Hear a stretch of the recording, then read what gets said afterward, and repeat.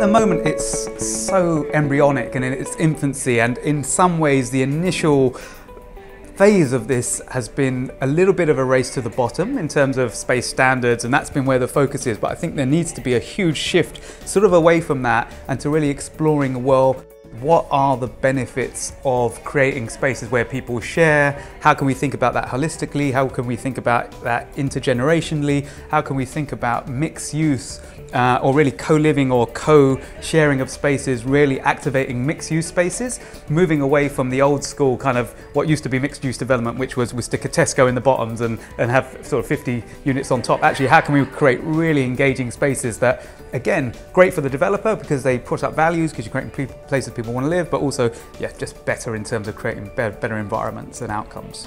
I think I'd, I'd sort of agree with the sort of uh, key presentation there that it is about a blend and I think we're going to be relying a lot more heavily on ourselves.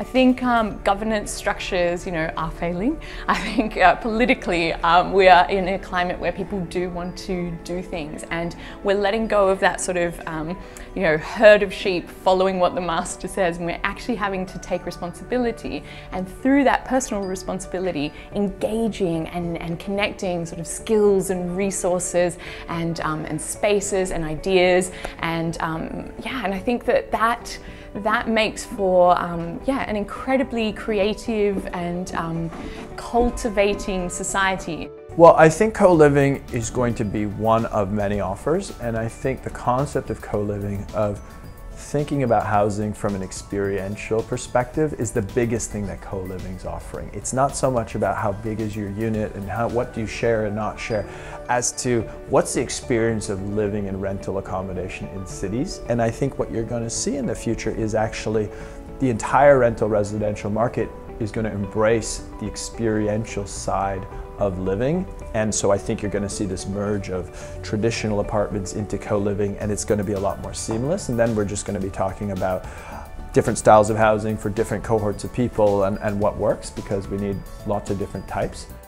Well, I think collaboration and co is fundamental for the future of cities. And I think what I what I liked about session today is that we were be able we were able to zoom out from co-living and co-working topologies to a bit more of a civic approach of co.